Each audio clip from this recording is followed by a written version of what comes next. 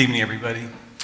Welcome to this special Tenebrae service at Resurrection Lutheran Church. We welcome all of you and thank our choir and our vocalists tonight for their presentation. We are going to be doing a little differently than we've done in the past. This is St. John's Passion, so we will hear uh, music that's been prepared by our vocalists as we read through the Gospel of John.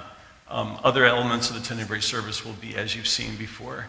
We uh, ask that when the service is over that you leave the sanctuary quietly and we will dismiss rows from the back to the front. So if you're in the front, just be a little bit more patient and we will dismiss rows from the back forward. I invite you now to rise as we begin with the invocation.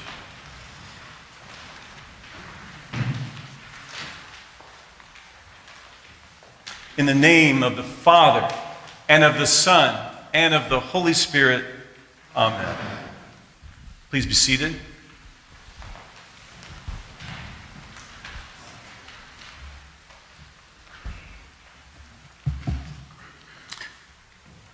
The Old Testament reading and also the text for the homily for this evening is from the book of Isaiah, chapter 52, beginning at the 13th verse.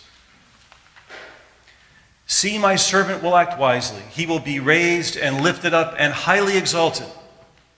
Just as there were many who were appalled at him, his appearance was so disfigured beyond that of any man, and his form marred beyond human likeness, so will he sprinkle many nations, and kings will shut their mouths because of him.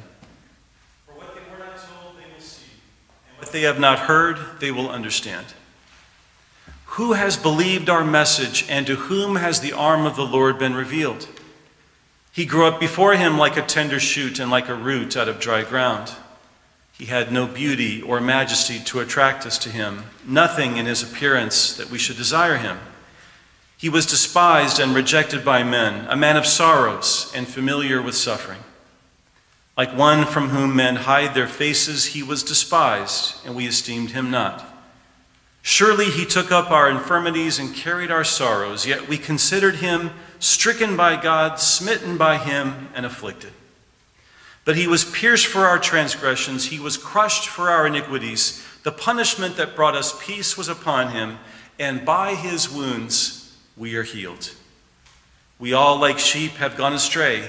Each of us has turned to his own way, and the Lord has laid on him the iniquity of us all.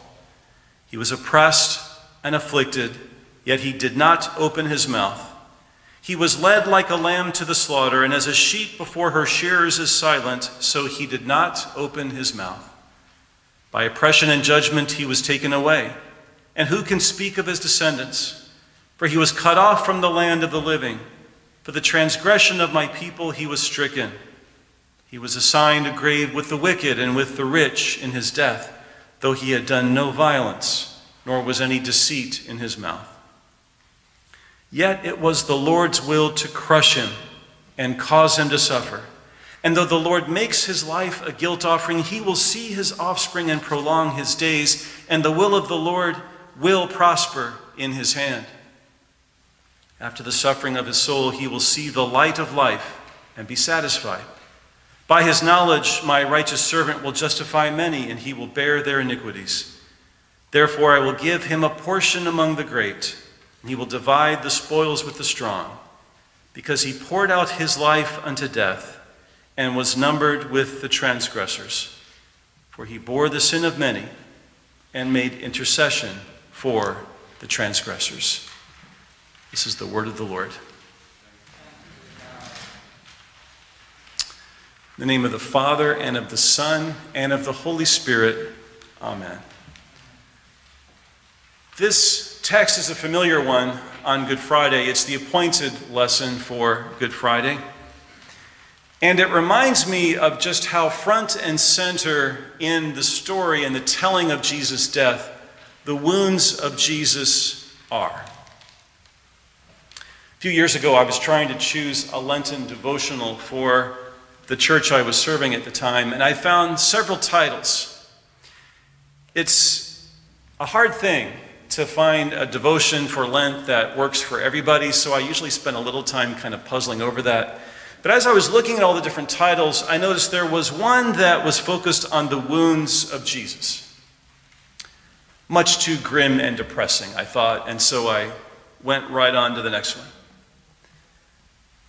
As we see from our lectionary reading for tonight, can look away from the wounds of Jesus for most of the season of Lent, but by the time Good Friday is here, there they are. And as we learn from the prophet Isaiah, those unavoidable Good Friday wounds are not the grim and depressing spectacle we might have feared they would be. Yes, they depict what our Lord, the suffering servant of Isaiah, would undergo. But they actually bring us something that we need the rest our weary spirits long for, the ability to hold on to Jesus' gift of abundant life in the face of suffering. Tonight we hear those familiar words about the wounds of the suffering servant by the prophet Isaiah. Tonight we see in our own mind's eye the form of Jesus, friend of, of sinners, healers of the sick, and Lord of the nations, suspended on a cross where he would suffer and breathe his last.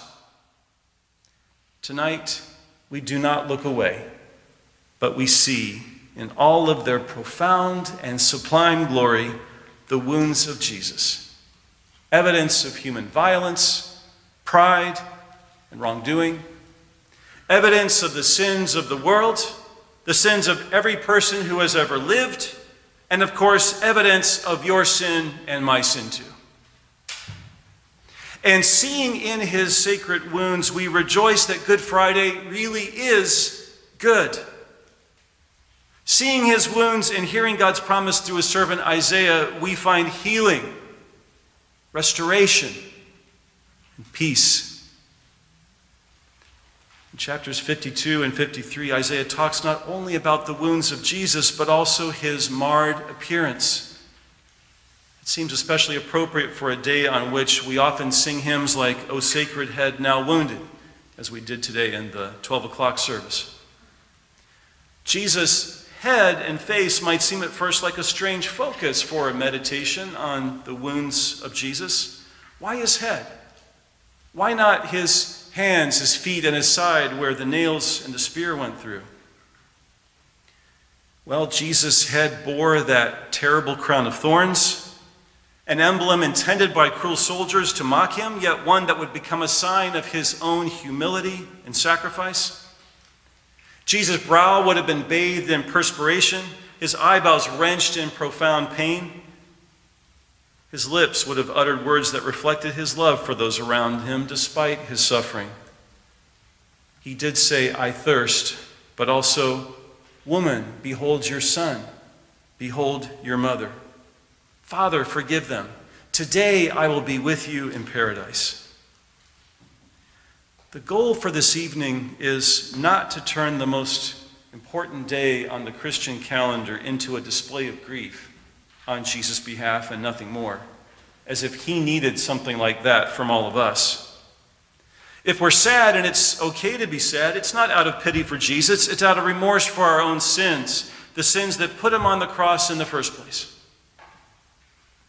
A devotion I ran across this past week puts it like this If we gaze at Jesus' sacred head, are we shamed or delighted or stricken or honored? And the answer is yes, all of the above. The hymns that we sing tonight dwell there. Words from that hymn, O sacred head, what thou, my Lord, hast suffered was all for sinners' gain. Mine, mine was the transgression, but thine the deadly pain. Notice how that mine gets repeated inside the hymn. Maybe on the one hand, it's sort of to work out the meter, but it's also to emphasize that I am responsible, you are responsible for the suffering, pain, and death that Jesus experienced. We are confessing and owning doubly that our sin, all our sin, put Jesus on the cross. The suffering servant, first described by the prophet Isaiah and applied to Jesus Christ by the early church, makes the point especially clear. He was pierced for our transgressions, he was crushed for our iniquities. Upon him was the chastisement that brought us peace, and by his wounds we are healed.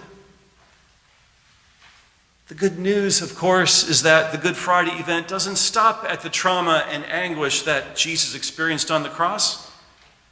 Isaiah also speaks of his, of his legacy, what would follow. And the truly good news is that on the cross, the wounds of Jesus spilled blood that paid the price for our sins. The good news is that on the cross, the wounded one was obedient unto death that when he gave up his life on the cross, all that needed doing for our salvation was accomplished. The white hot core of the gospel is not merely that Jesus revealed the love of his Father for the world when he gave up his life on the cross, though that certainly is an important part of that gospel message. The white hot core of the gospel is that Jesus suffered hell on the cross the hell that you and I deserved. On Easter Sunday, that invisible truth is made visible. With his words from the cross, it is finished, it is accomplished.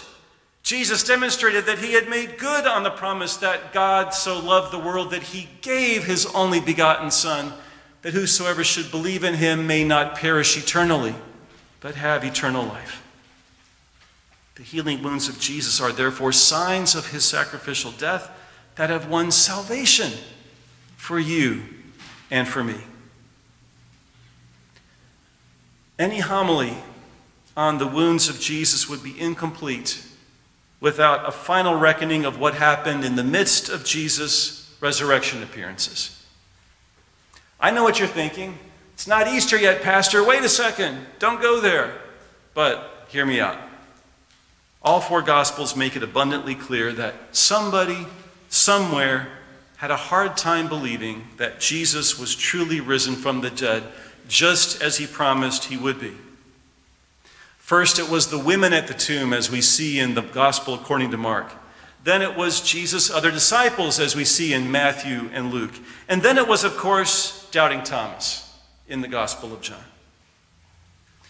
It's not Jesus' glorified appearance, however, that brings the assurance that their Lord and Master is present with them. If you really read carefully between the lines, especially in St. Luke and St. John, it's the wounds in Jesus' hands, the wounds in his feet, that convince these terrified and anguished disciples that their Lord is really and truly present with them. Even the body of the resurrected Christ bears the wounds of his crucifixion. Reminds me of an experience I had a few years ago when I was attending a Stephen Ministry leadership training summit. She said when she was in the middle of it, and I'm paraphrasing, of course, that in the midst of that suffering, it was relief, it was a strength for her to know that the Lord of the universe had suffered too. That he knew something of what she was going through.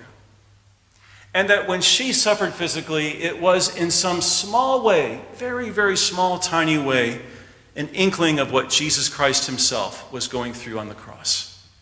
There is a kind of bond, a connection between those of us who suffer one with another and, of course, with our loving Savior on the cross. That's where the wounds of Jesus take us to the connection that we have with our loving Savior. To, yes, the sacrifice for our sins, the gift of salvation that He has won for us, and the love of God, which is ours through Jesus Christ. I'd like to quote one of the verses, one of the stanzas from O Sacred Head. And this kind of sums it all up for me. What language shall I borrow to thank thee, dearest friend, for this thy dying sorrow, thy pity without end? Oh, make me thine forever.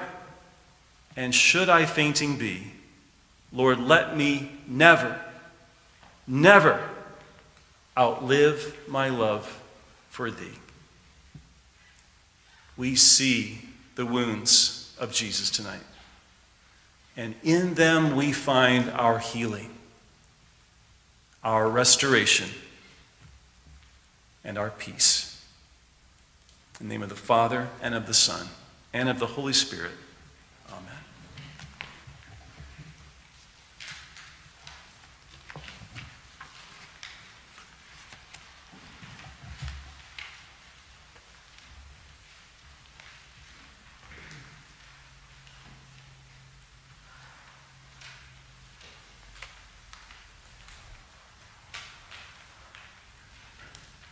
The Lord be with you.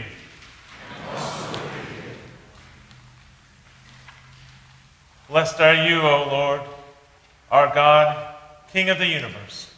You have poured out upon us your never ending love by giving your Son, Jesus Christ, unto death on the cross. Give us grace to know nothing except Jesus Christ and Him crucified. Strengthen the ministry of your holy church, that we, your people, may confess the dying love of Christ to all people.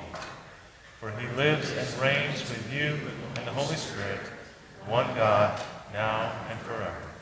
Amen.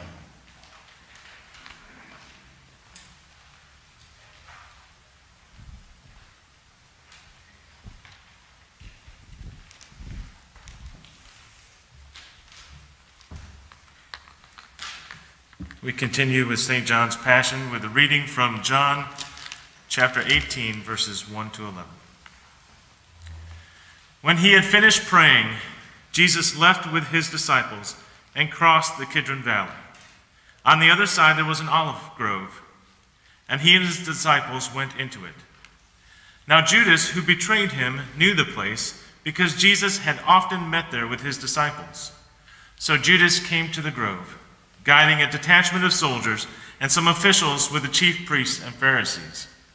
They were carrying torches, lanterns, and weapons. Jesus, knowing all that was going to happen to him, went out and asked them, Who is it you want? Jesus of Nazareth, they replied. I am he, Jesus said. And Judas the traitor was standing there with them. When Jesus said, I am he, they drew back and fell to the ground. Again he asked them, Who is it you want? And they said, Jesus of Nazareth. I told you that I am he, Jesus answered. If you are looking for me, then let these men go. This happened so that the words he had spoken would be fulfilled. I have not lost one of these, those that you gave me. Then Simon Peter, who had a sword, drew it and struck the high priest's servant, cutting off his ear. Jesus commanded Peter, Put your sword away. Shall I not drink the cup the Father has given me?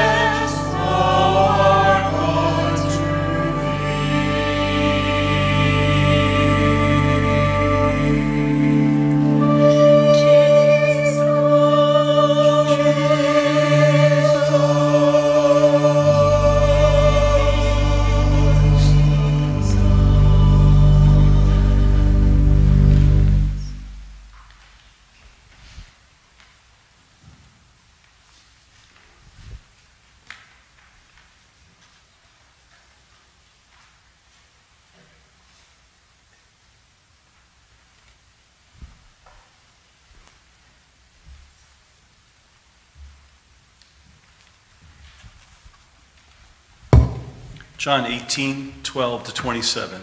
Jesus denied by Peter. Then the detachment of soldiers with its commander and the Jewish officials arrested Jesus. They bound him and brought him first to Annas, who was the father in law of Caiaphas, the high priest that year. Caiaphas was the one who had, who had advised the Jews that it would be good if one man died for the people. Simon Peter and another disciple were following Jesus. Because this disciple was known to the high priest, he went with Jesus into the high priest's courtyard, but Peter had to wait outside at the door. The other disciple, who was known to the high priest, came back, spoke to the girl on duty there, and brought Peter in.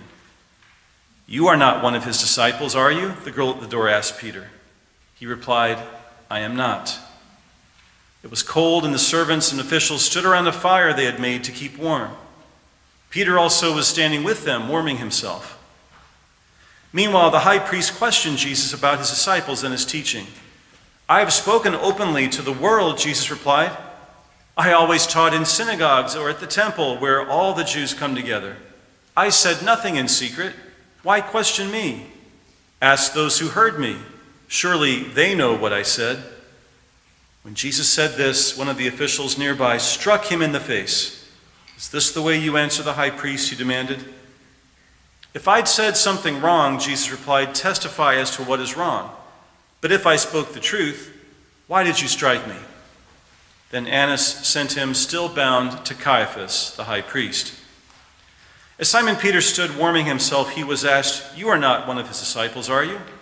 He denied it, saying, I am not. One of the high priest's servants, a relative of the man whose ear Peter had cut off, challenged him.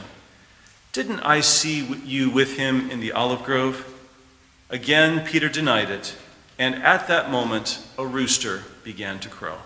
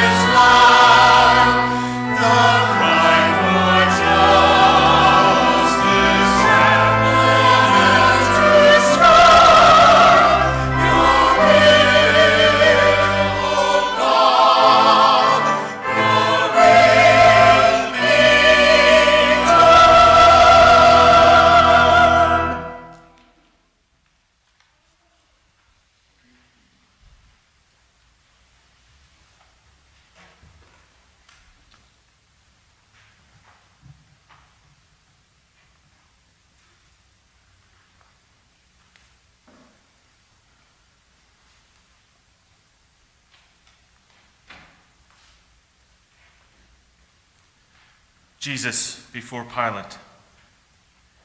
Then the Jews led Jesus from Caiaphas to the palace of the Roman governor. By now it was early morning, and to avoid ceremonial unclean, uncleanness, the Jews did not enter the palace. They wanted to be able to eat the Passover. So Pilate came out to them and asked, What charges are you bringing against this man? If he were not a criminal, they replied, we would not have handed him over to you. Pilate said, Take him yourselves and judge him before your own law. But we have no right to execute anyone, the Jews objected. This happened so that the words that Jesus had spoken, indicating the kind of death that he was going to die, would be fulfilled. Pilate then went back inside the palace summoned Jesus and asked him, Are you the king of the Jews? Is that your own idea? Jesus asked, or did others talk to you about me? Am I a Jew? Pilate replied. It was your people and the chief priests who handed you over to me. What is it you have done? Jesus said, My kingdom is not of this world. If it were, my servants would fight to prevent my arrest by the Jews. But now my kingdom is from another place. You are a king, then, said Pilate. Jesus answered, You are right in saying I am a king.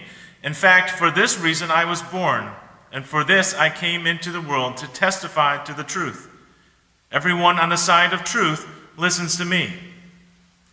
What is truth? Pilate asked. With this, he went out again to the Jews and said, I find no basis for a charge against him.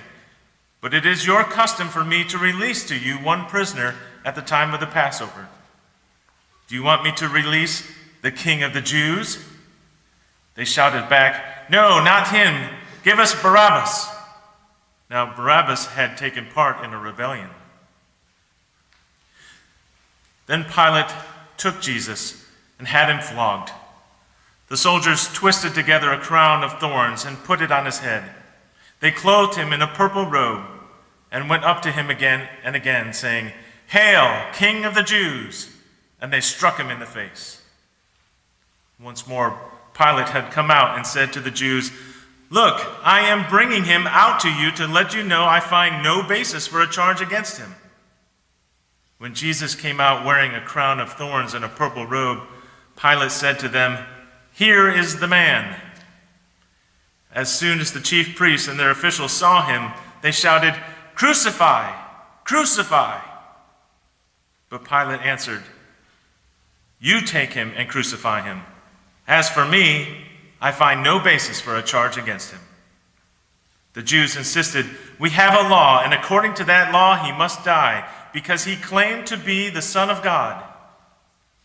When Pilate heard this, he was even more afraid, and he went back inside the palace. Where do you come from? he asked Jesus. But Jesus gave him no answer.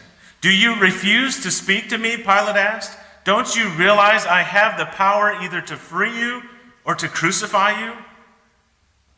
Jesus answered, You would have no power over me if it were not given to you from above. Therefore, the one who handed me over to you is guilty of a greater sin. From then on, Pilate tried to set Jesus free, but the Jews kept shouting, If you let this man go, you are no friend of Caesar. Anyone who claims to be a king opposes Caesar. When Pilate heard this, he brought Jesus out and sat him on the judge's seat and the place that is known as the stone pavement, which in Arabic is Gabbatha. It was the day of preparation of Passover week, about the sixth hour. Here is your king, Pilate said to the Jews but they shouted, Take him away! Take him away! Crucify him! Shall I crucify your king? Pilate asked.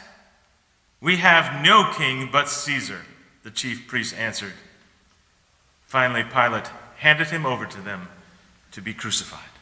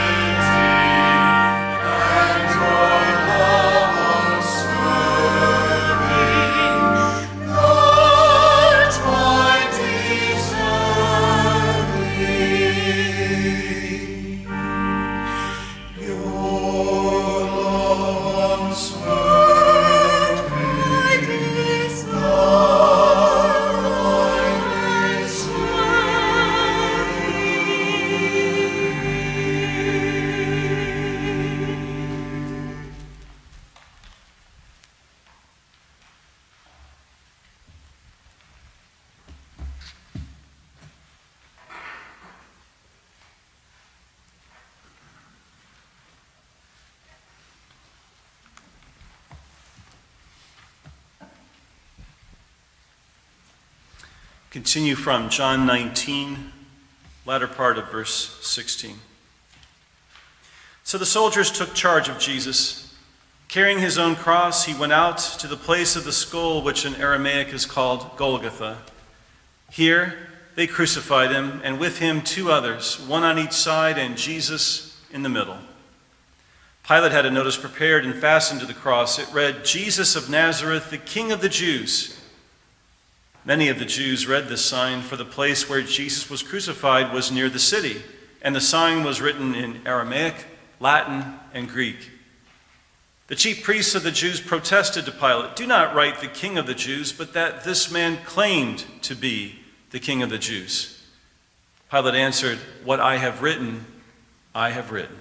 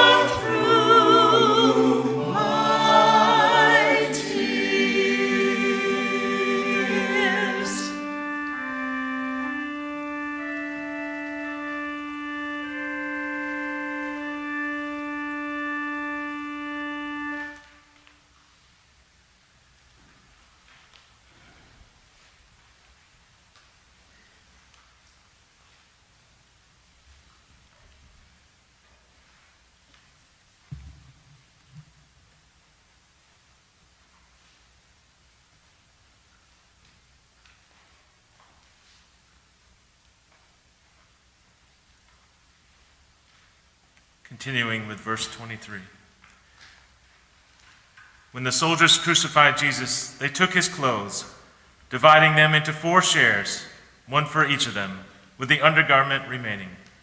This garment was seamless, woven in one piece from top to bottom. Let's not tear it, they said to one another. Let's decide by lot who will get it. This happened that the scripture might be fulfilled, which said, They divided my garments among them and cast lots for my clothing. So this is what the soldiers did. Near the cross of Jesus stood his mother, his mother's sister, Mary, the wife of Clopas, and Mary Magdalene.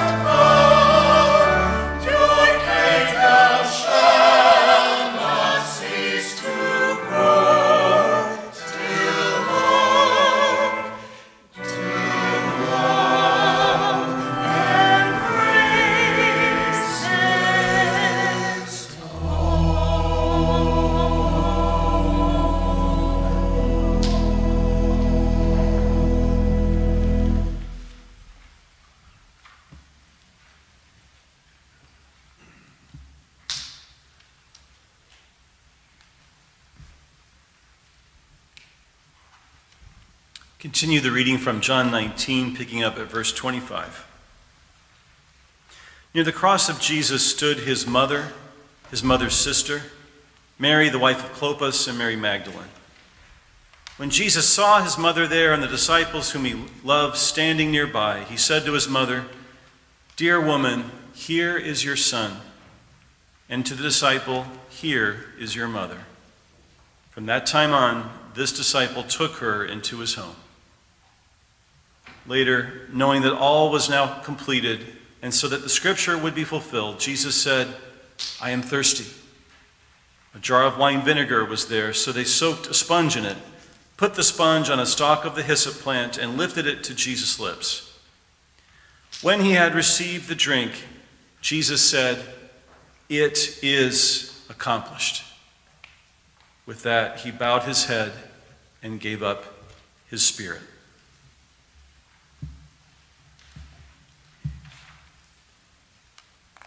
Unto God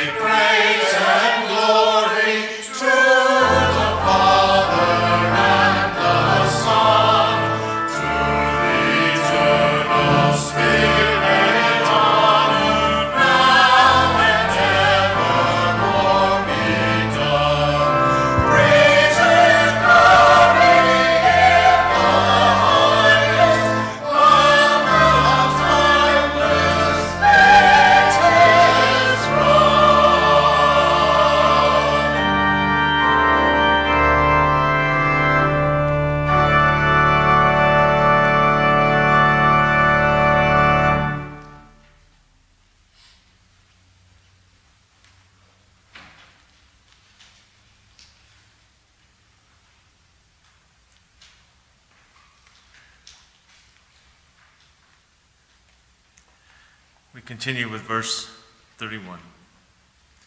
Now it was the day of preparation, and by the next day was to be a special Sabbath.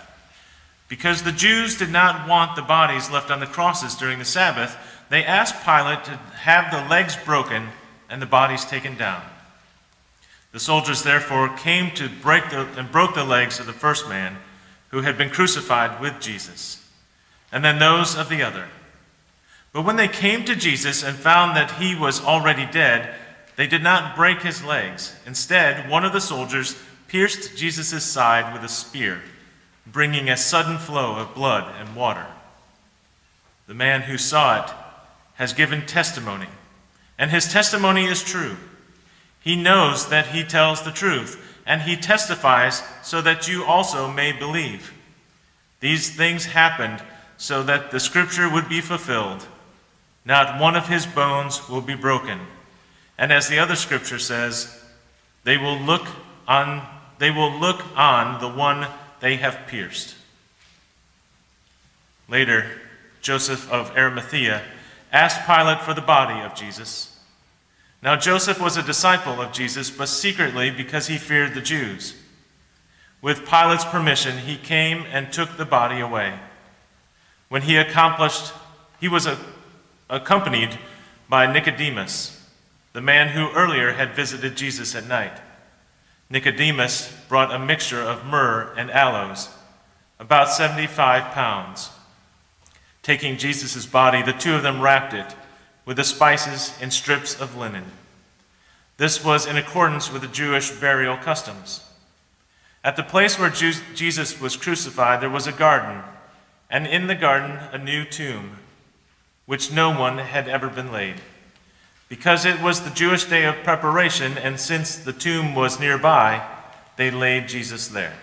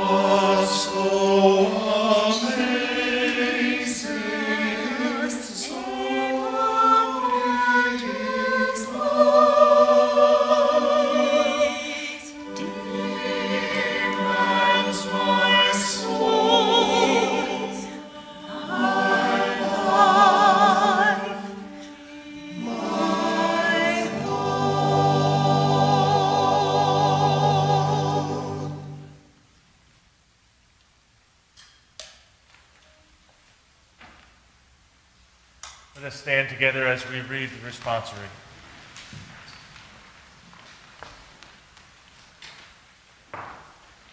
Into your hands, O Lord, I commend my spirit. You have redeemed me, O Lord, God of truth. Glory to the Father, and to the Son, and to the Holy Spirit.